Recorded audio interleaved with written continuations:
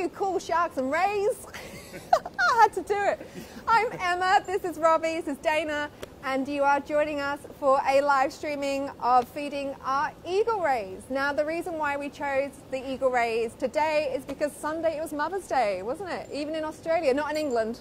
Uh, Not- it was in America. though. Uh, you know, it wasn't where I was from. Oh no. I still sent my mum flowers, so I'm a good girl. Anyway, what we're going to do is we're going to feed our eagle rays, and the reason why we're doing these lovely ladies is because we have a very special mum here called Freckle. So hopefully we'll get to show you our individual rays and tell you a little bit more about them while Dayna's feeding them. So to get our rays to come and eat, we have a dive rattle demonstrated by the lovely Dayna, and we shake it five times in the water, and that's a signal to the rays that, hey, guess what? It's food. Uh, we do this three times a day, plus they get an enrichment feed and a scatter feed as well. So lots of different types of feeding. So Dayna, should we go ahead and start?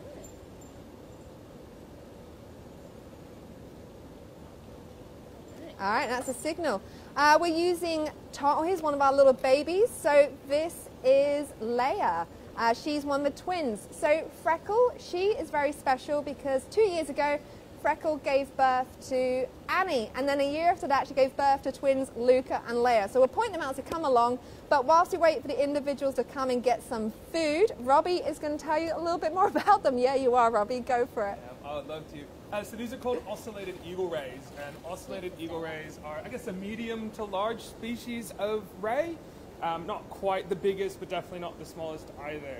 Um, a bunch of the ones we have in here are adults, so a couple of the, not the baby here, So that's Leia. That's one of the twins. This is Uh, Naboo. but Naboo coming up, they're all adults and they sort of max out with a wingspan of about three meters. So pretty big, pretty meaty stingrays, but absolutely beautiful. Now, one of the ways that we can tell them all apart is the, the spots on their back. That sort of acts like a fingerprint for them and it lets us know who is who uh, because it's very, very important that uh, all of the animals here at Sea Life Sydney Aquarium uh, get really well taken care of and being able to tell them apart is the best way to make sure that we are getting enough food and, and that they're getting all of the right care they need. Um, they're different animals, which means they've got different personalities. Uh, and so, oh, hey pig, sorry, pig breathed on us. Um, uh, but each of these animals have very, very different personalities and are all really quite unique. And so it's really interesting to, uh, to sort of be able to work so close with them. Now, one of the things that Dayna uh, and Emma are doing as they're coming up to be fed is keeping track of who's eating, just like that. Um, and they're getting a whole bunch of really, really good foods. Um, so they're getting today, they're being offered a variety of different types of food, including squid. Um, so big old pieces of squid, bonito, Little which is a pieces for nice the oily fish babies. Yeah, little pieces for the babies as well. Uh, and then also they get slimy mackerel, get pilchards, different types of foods. Um, well, let's see, does anyone have any questions? How big do they get? That's a really good question. So these guys are prob- probably a, a medium or larger species of stingray, uh, from wingtip to wingtip. So like that, they get about three meters is how big they'll max out at. You'll notice when Dayna's feeding them, uh, they're coming up straight rather than to the side, and that's basically for our safety as well. You'll notice Dayna is wearing some fetching uh, gloves that kind of act as a shield. Uh, stingrays, uh, eagle rays, they do have barbs on them. Now, they only use them as a last resort, but to prevent any injury to us or each other, we ask that each individual ray comes up one at a time to eat and comes up straight. And that's because a really fun fact, they can actually turn their tail almost like a scorpion.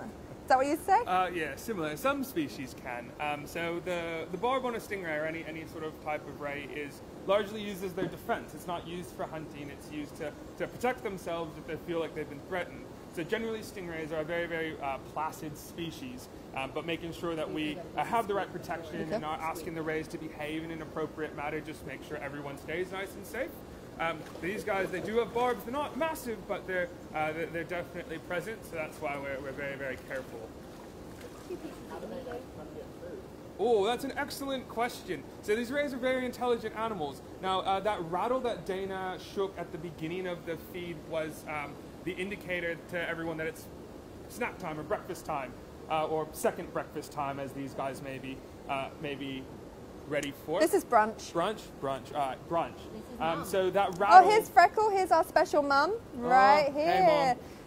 Mom. Um, but that rattle is what indicates to the rays that, oh, it's time for food, and then they all know to come up and be uh, nice and polite and get, take one piece at a time, go chew it up, and then come on back ready for a next one.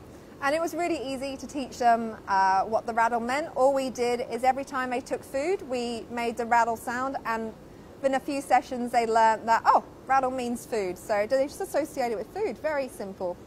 So, uh, Freckle, this is Miss Bandit who's coming over here. So she'll turn to get some food. There we go.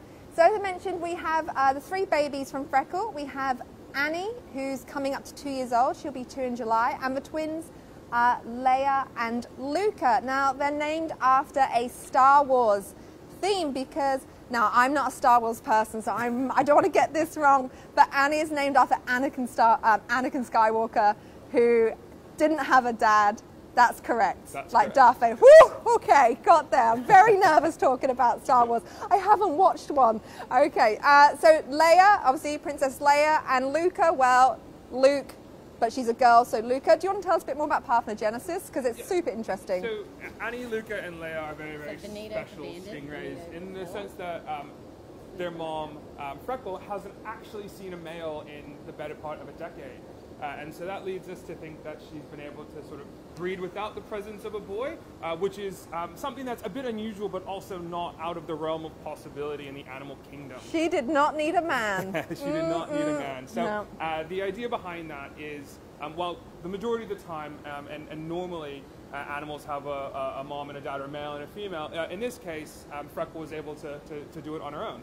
Uh, but because she did it on her own, because she didn't have the extra genetics from a partner, um, she was able to. Uh, she's had uh, given birth to all daughters. So Annie, Luca, and Leia are all girls. Uh, basically, just mini versions of Freckle.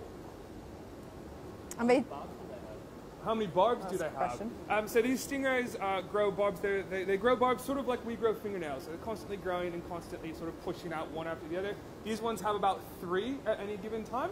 Um, so if we uh, and th- those, those barbs aren't located on the end of a tail like that of a scorpion, but instead their barbs actually located right at the base of their tail, right where their long tail meets their body, a- and that's where they'll they'll be able to use um, that as their protection. So it's not like they run around ready to poke people, but instead they um, they just have them there as protection. But there's about three of them.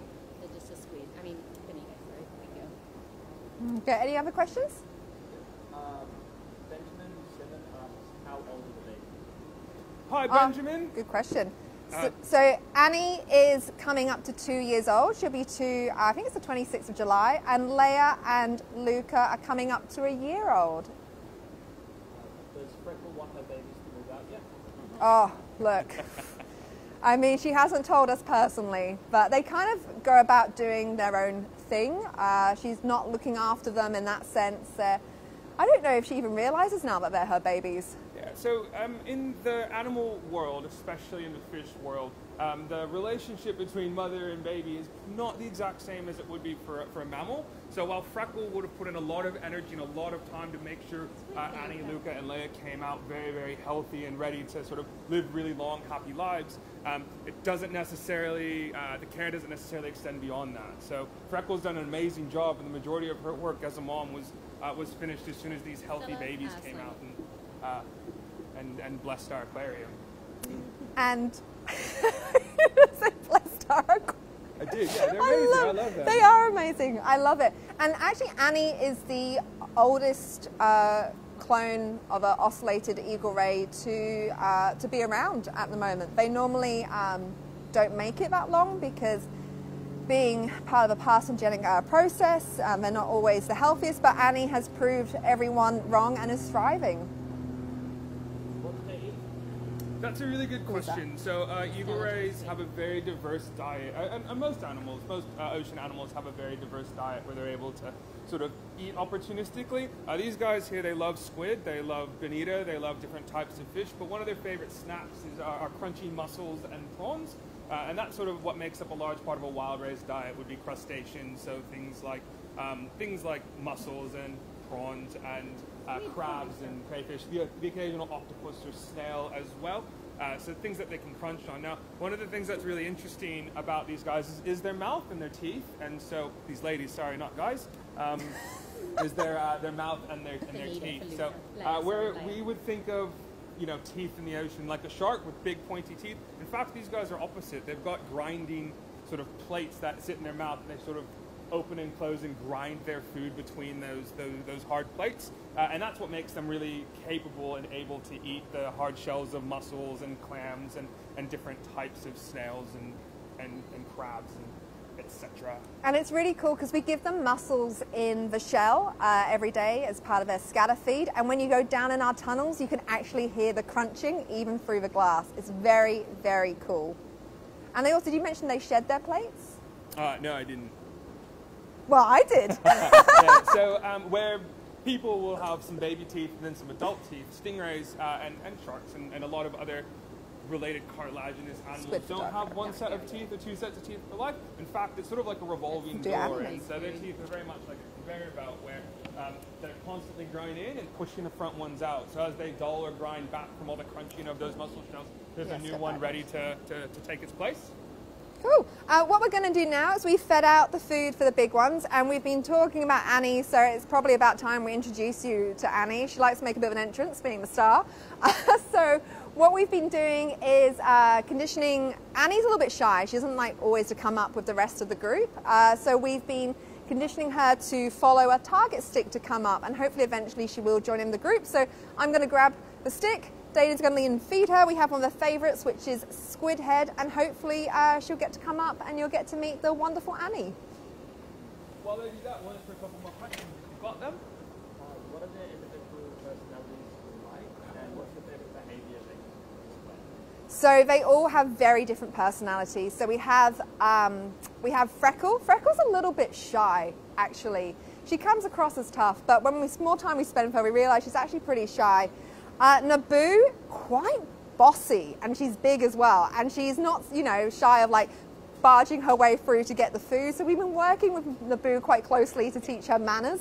Uh, the little twins, Leia and Luca, they are just confident little ones. They come zooming through. They are just adorable. Uh, so they all have individual uh, personalities, uh, which actually makes our life easier when it comes to any training and conditioning because we can kind of tailor it to the individual animal.